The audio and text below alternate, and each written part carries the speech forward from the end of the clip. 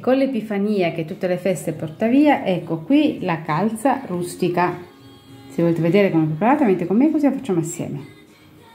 Guardate il formaggio come fonde. Calza della Befana. Ritagliamo con carta forno la calza.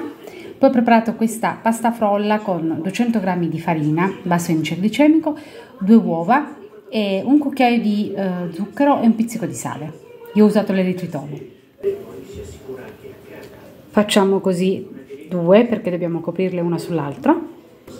100 g di ricotta spalmata, 60 g di prosciutto cotto, qualche fettina di provolone a orecchio, mettete scamorza, un po' di pepe e poi copriamo. Quando dobbiamo chiudere diamo dei pizzicotti così ai bordi, proprio come se fosse la cucitura della calza, ok? E poi così almeno non fuoriesce il contenuto. E voilà!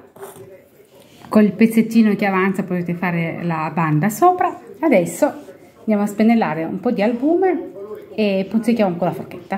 Mettiamo su una teglia con carta forno un albume.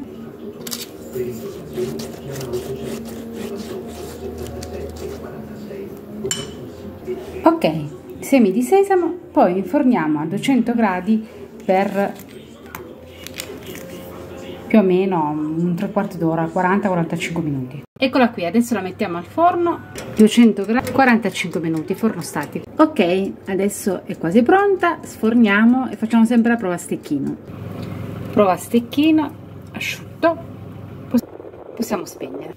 Voilà buona befana a tutti